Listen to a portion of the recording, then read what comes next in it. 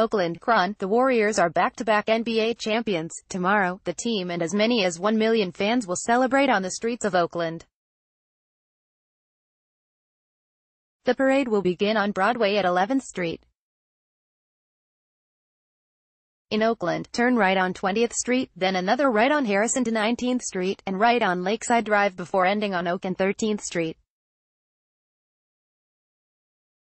It starts at 11 o'clock a.m.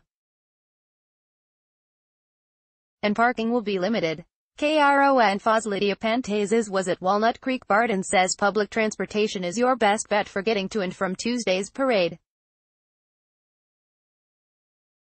BART and AC Transit are gearing up for large crowds tomorrow. BART will run rush hour service all day using every available train possible at maximum length. Service may be adjusted before and during the parade.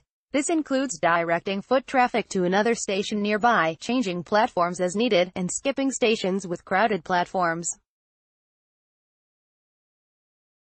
AC Transit buses will be rerouted around downtown Oakland for most of the day because of street closures in the parade area.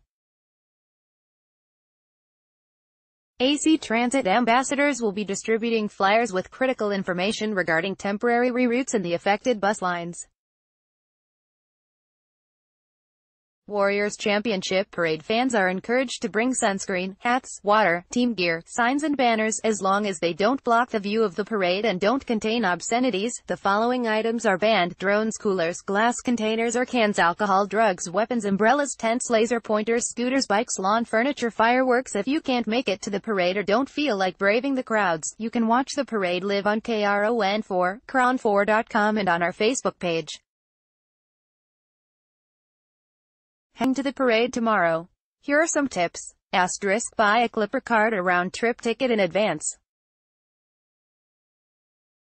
Asterisk parking will be limited so consider walking, catching a bus or getting dropped off.